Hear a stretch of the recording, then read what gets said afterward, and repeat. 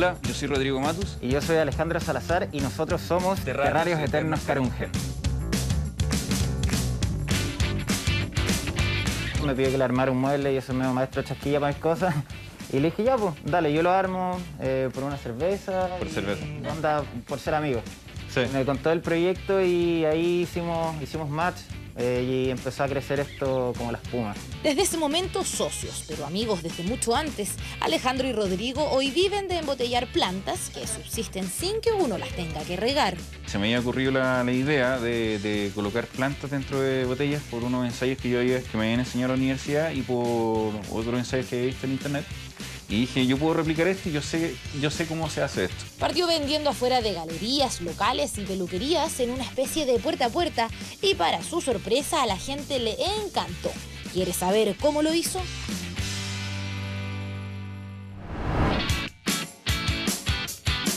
Acá es donde parte todo, en Econgranaje, que es el punto limpio donde nosotros venimos a buscar la botella. Y nos avisan siempre cuando está lista la tolva, antes de que la retiren y se vaya a reciclar. Entonces síganos por acá, vamos a ensuciarnos un poco.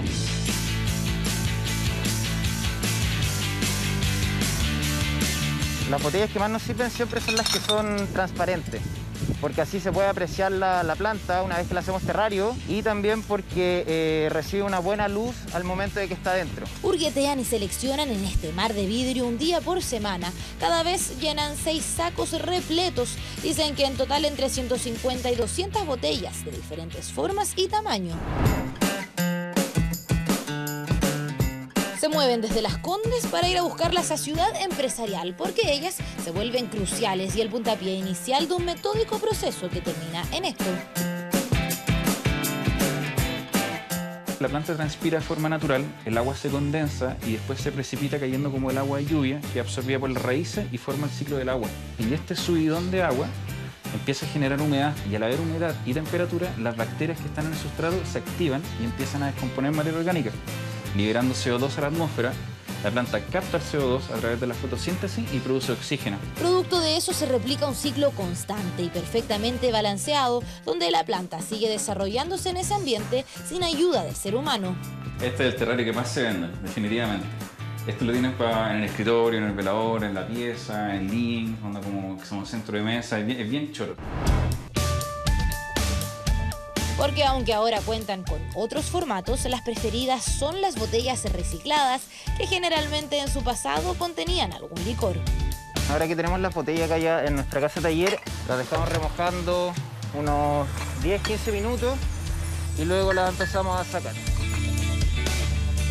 Cuando la, la botella ya está seca, sanitizada, vamos a seguir el siguiente paso, que es colocarle un poco de grava, y después el siguiente, que es colocarle nuestro sustrato secreto rico en bacterias y microorganismos. Desde el primer intento de Terrario Eterno han pasado cerca de tres años y de hecho ese prototipo aún vive. Rodrigo tenía la certeza de que esto funcionaría. Su familia se tuvo que ir convenciendo con el tiempo. Mi mamá, eh, ¿cómo pasa a desperdiciar años de universidad haciendo terrarios? Me fue como, mamá, tranquila, tranquila, esto va a ser un terrario eterno. Pero ¿cómo es un terrario eterno? Mamá, no se riegan, pero ¿cómo no se riegan? Tranquila, sí. Entonces, de- después de a poco me empezó a ir bien, empezó a crecer esto y como un buen tapabocas. anda. Ambos ingenieros agrónomos usan estas plantas porque cambian la intensidad de color según la luz y además de venderlas listas por Instagram con despacho a domicilio y en su showroom, tienen la opción de un kit para armar en casa. Tiene el sustrato, la cantidad precisa para, para el terrario, también viene con la grava, el cuarzo y una planta. Incluso viene con una jeringa con la medida, con la agua necesaria para armar el terrario. Idea para compartir en familia o regalar que se vuelve eterna como decoración donde usted quiera. Por su parte, estos jóvenes siguen creciendo ahora incluso con más manos que los ayudan con delicadeza a crear estas verdaderas atmósferas dentro de una botella.